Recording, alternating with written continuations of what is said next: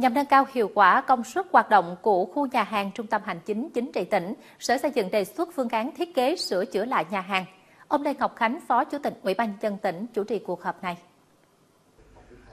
Tại cuộc họp với Ủy ban nhân dân tỉnh Bà Rịa Vũng Tàu, công ty trách nhiệm hữu hạn thương mại dịch vụ sản xuất nội thất Full House, đơn vị tư vấn đã trình bày phương án sửa chữa khu vực sảnh đón khách và khu soạn thức ăn nhà hàng trung tâm hành chính chính trị tỉnh. Ông Lê Ngọc Khánh, Phó Chủ tịch Ủy ban nhân dân tỉnh giao ban quản lý trung tâm hành chính chính trị tỉnh là chủ đầu tư thực hiện việc sửa chữa nhà hàng trung tâm hành chính chính trị tỉnh theo phương án đề xuất của đơn vị tư vấn. Sở Tài chính nghiên cứu đề xuất bố trí nguồn vốn ngân sách để thực hiện.